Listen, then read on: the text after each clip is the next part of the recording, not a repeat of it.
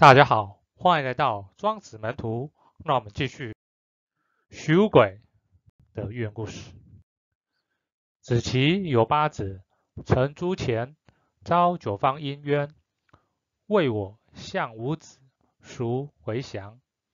九方阴冤，捆也为祥。这个寓言就是讲那个帮人家算命那个故事嘛，就是子期啊，他有八个儿子。然后他把他叫来，站在前面，站在子期的前面。然后他请那个九方音来，九方音就是很会帮人家看看相的嘛。那然后他就跟九方音说：“哎，你帮我的儿子，这八个儿子看看看看相吧，看看谁最有福气，所以祥啊，就吉祥，就福气嘛。”九方音就说：“看了一下这八个子期的八个儿子，说那个捆最有福气。”听到九方音这么说，子期居然喜，曰：“奚若？曰：捆也将与国君同时，以终其身。”子期啊，一听说九方音说：“哦，捆最有福气。”他就很惊喜的说：“居然喜哦，那是怎样的福气呢？对不对？有福气，捆也为祥。那到底是怎样的福气？要问一下啦。”九方音就说：“捆啊，他。”这个福气啊，就是他会跟国君一起饮食，直到终老，与国君同时，以终其身。哦，听起来是不错哦。看一下子期的反应。子期索然出涕，曰：“吾子何为以至于是己也？”九方曰：“曰：“夫与国君同时，则及三足，何况父母乎？今。”夫子闻之而泣，是欲服也。子则降矣，父则不降。哦，子期听一听说那个九方一说那个捆可以的福气是可以跟国君一起饮食直到终老嘛？那他听了就伤心流泪啊。他出涕啊，涕的话一般两个有两个意思嘛，一个是眼泪或者鼻涕。根据上下文下面会提到，这个应该是眼泪，就是流眼泪。说。我儿子这个捆啊，为什么会走到这种绝境呢？是极极就是绝境嘛。然后九方音就说：“哎，这个可以和国君一起饮食，恩泽会普及三族啊。如果你可以跟国君同时啊，是说，哎，这是不错的啊。啊，恩泽会普及三族，这边三族就是父族、母族跟妻族嘛，这三族。而何况是父母本人呢？对不对？三就是。”父族的人都有，母族就是整个亲戚都有，那父母本身当然更更别不在话下啦。那你今天听到这种好事，对不对？与国君同饮食一起饮食是好事啊，那还哭泣，那你是拒绝福分啊，欲福也。然后你的儿子啊，看起来你的儿子捆啊，虽然有福气，子则享矣，但你这个做父亲的却没有福气享受，父则不享。接下来看子期怎么说。子期曰：“因汝何足以视之而捆降也？近于酒肉，入于鼻口矣，而何足以知其所自来？”呃，子期说啊，九方音啊，你呀怎么能够知道这一定是好事呢？就是说，虽然你从你帮他看相看出来说。这个捆可以跟国君同时，那你怎么知道这一定是好事？而捆真的有福气吗？而且你说的福气，就说与国君同时这个福气，也只不过是酒肉送入口鼻而已啊。那你怎么知道这个酒肉是怎么来的？对不对？对啊，意思是什么？捆啊，无功啊，没有做，没有什么功绩啊，没什么功劳，跟国君同时，那你这个祥，就是说你这个福气。不知其所自来啊，何足以所自来，对不对？你咋根本就不知道这福气从何而来啊，对不对？所以哪知道怎么知道是好事呢？他接着说：吾未尝为木而张生于傲，未尝好田而存生于咬。若勿怪何也？好不好？对不对？他说啊，他就举例呀，他说啊，我不曾牧羊，不曾为木。可是家里的西南角，这个澳就是西南边房子的西南边嘛，它出现那个母羊，张是母羊嘛。那我不喜欢田猎啊，不喜欢打猎啊，那家里的东南角，敖杳是咬是东南角嘛，敖是西南角，咬是东南角，是出现鹌鹑啊，对不对？我没有去打猎，怎么会有这个东西？哦，因为牧牧羊怎么会有羊出现？若这边若就是你，就是指九方一吗？你难道不觉得奇怪吗？为什么呢？对不对？意思是什么？他举例啊，就说我没有牧羊，可是会有羊哦。我我不去打猎，可是会有会有这个鸟，就就就等于说，对不对？我没有，怎么会有这个东西？就跟捆没有公鸡，可是可以跟国君同时同样的意思嘛？这很奇怪的事情啊，对不对？接着再往下说，吾所与吾子游者，游于天地，吾与之邀乐于天，吾与之邀食于地，吾不与之为事，不与之为谋，不与之为怪，吾与之成天地之成，而不以物与之相因，吾与之亦威仪。而不与之为事所宜，好不好？他现在解释说，为什么会奇怪，对不对？他说为什么奇怪？因为他说啊，子期说啊，我教我的儿子，当然不是只有捆嘛，说八个儿子都一样。我教我的这些儿子啊，就是要遨游，是是要遨游在天地之间，不是在红尘中打滚，是游于天地。那我教他们呀，要跟自然同乐。邀乐与天，与天同乐啊，自然。我教他们跟大地共识，邀食于地。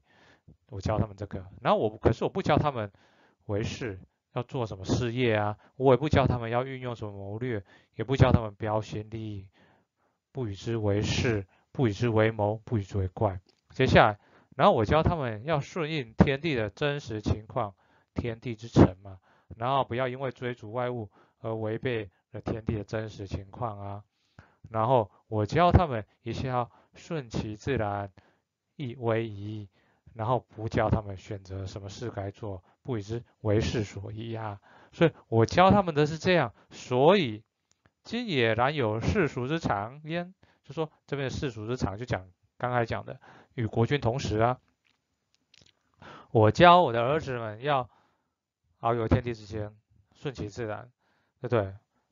不要再就是想要做什么事业，用什么谋略、标新立异啊！不要去追逐外物。可是现在居然会得到世俗的报偿，就与国君同时啊！凡有怪真者，必有怪行待乎？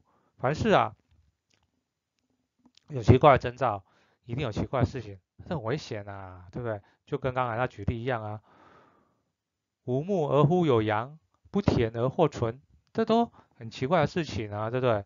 你怎么知道那是哪里来的？比如说我今天没有牧羊，然后跑出羊来，家里的西南角跑出羊，你怎么知道那羊哪里来的？对不对？啊，你没有去打猎，可是你的家的东南角跑出鹌鹑，这都很奇怪啊，你都不知道怎么来的，所以有奇怪征兆，那一定有奇怪的事情，这很危险啊，因为你根本不知道源头是哪里来的。非我与五子之罪，积天与之也。吾是以弃也，有没有？我与吾子这边又用我用吾，对不对？说这不是我和我儿子的过错啊，大概是上天降临在他身上的灾祸吧。我是因此哭泣啊，有没有？刚才不是讲过吗？泣就是只流眼泪，没有声音啊，所以对应到刚才的子期索然出涕，所以出涕也是眼泪啊，就是流眼泪啊。说他是解释说，为什么他一开始听到九万一说。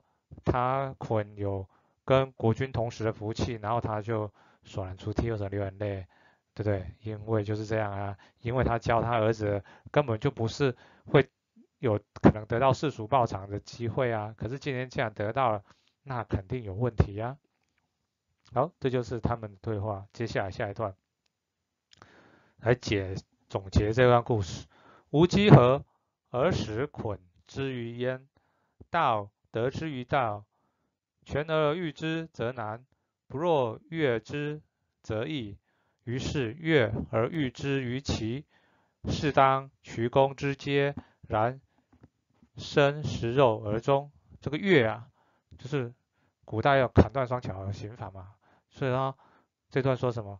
没过多久啊，就是那个子琪请那个九方鹰帮他的八个儿子看过相，没多久啊，捆就被派到燕国去。然后燕他派到燕国的路途中啊，才走到半路，这个捆就被强盗掳走了。然后强盗认为啊，他这样四肢健全人很难卖出去啊，因为担心他逃跑啊，对不对？不如把他砍到他的脚，对不对？这样比较容易卖出去。当然这是古时候的那个人口买卖嘛。于是啊，强盗就把捆的脚砍掉，然后卖到燕齐国去，对不对？他本来是要燕国嘛，然后被抓强盗抓去嘛，卖到齐国。然后结果呢，捆就去担任这个渠工，就是齐康公，他去当齐康公的守门人啊。对，那是终身都有肉吃啊，跟国君吃一样的啊。可是其实他只是当个守门人，并不是因为他有什么功绩，然后享有那个可以这个跟国君同时的这个福气。其实这个故事跟我们比较大家比较所所能想的那个塞翁失马的故事有点类似嘛。那么塞翁失马就是塞翁失马焉知非福嘛，然后塞翁得马焉知非祸啊，对不对？福祸是相依的。好，把今天这段子期跟九方音的寓言念一遍。子期有八子，曾出前，召九方音曰：“为我相无子，孰为祥？”九方音曰：“鲧也为祥。”子期居然喜曰：“奚若？”曰：“鲧也将与国君同时，以终其身。”子期索然出涕渊：“吾子何为以至于是己也？”九方应曰：“夫与国君同时，则及三族，何况父母乎？今夫子闻之而泣，是欲服也。子则祥矣，父则不祥。”子其曰：“因汝何足以视之而捆祥耶？近于酒肉，入于。”口鼻鼻口耳，而何足以知其所自来？吾未尝为目，而张生于傲；未尝好田，而存生于尧。若无怪何耶？吾所与吾子游者，游于天地。吾与之邀乐于天，吾与之邀食于地。吾不与之为士，不与之为谋，不与之为怪。吾与之成天地之成，而不以物与之相因；吾与之亦为宜，而不与之为事所宜。